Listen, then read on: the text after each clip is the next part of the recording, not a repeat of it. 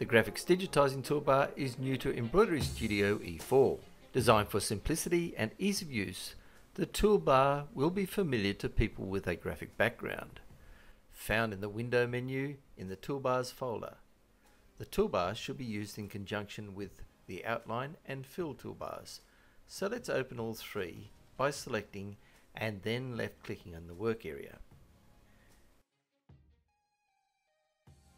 In designing, there are two open shape tools, one column tool, five closed shape tools, an angle tool, and a hole and applique tool. The open shape tools can only be an outline with its various properties. Note, the Fill toolbar is grayed out when either of the open shape tools are selected.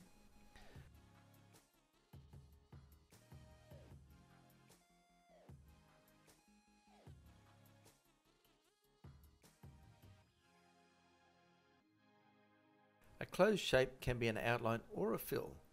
Selecting a closed shape tool activates the fill toolbar as well as the outline toolbar.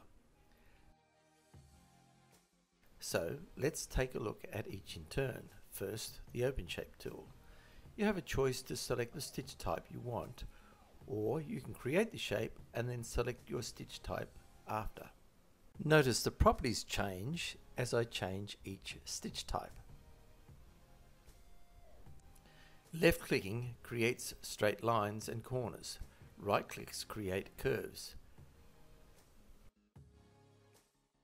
For a moment, let's move forward to the other OpenShape tool, the Freehand OpenShape.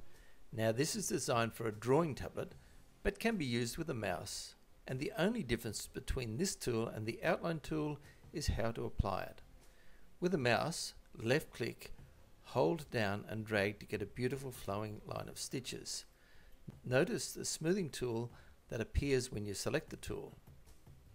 By activating the target guide and nominating the distance and number of rings, the cursor becomes a guide to follow approximately a set distance from another object.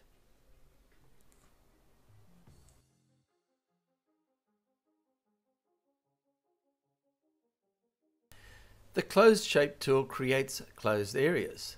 To make the shape, click around the perimeter, left clicking for angles and right clicking for curves. This tool is self-closing and does not require the last click to sit on the first. In fact, it's recommended that you allow the shape to close itself by hitting enter before you reach the starting point. The column tool creates beautiful columns of stitching that vary in width. The distance between each click on either side of the column determines the column width.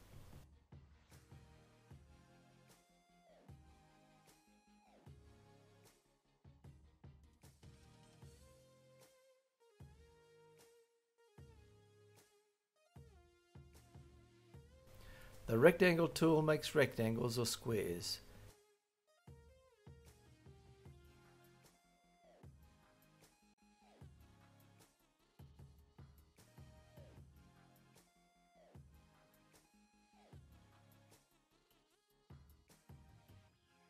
And the ellipse tool, ellipses or circles.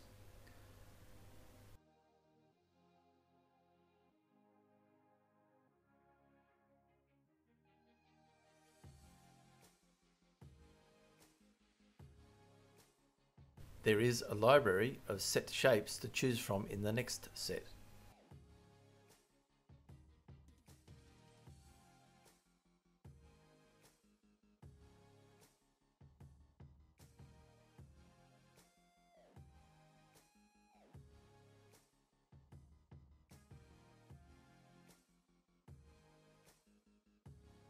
And the freehand fill tool to create freehand shapes.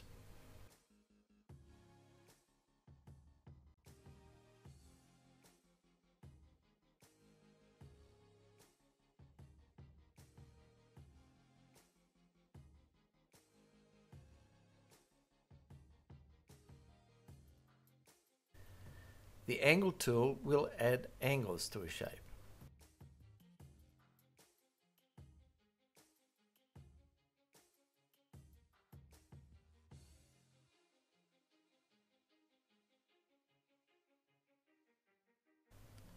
And the hole tool will add holes, remove holes and fill holes.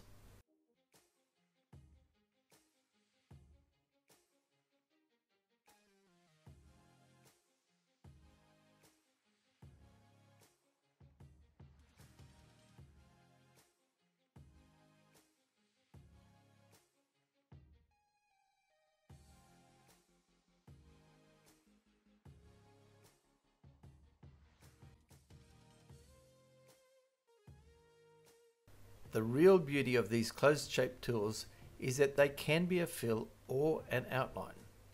To demonstrate, I'll duplicate these objects and make the second object an outline.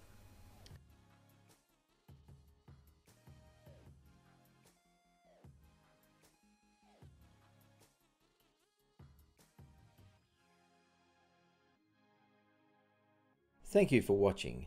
Visit our website for more information.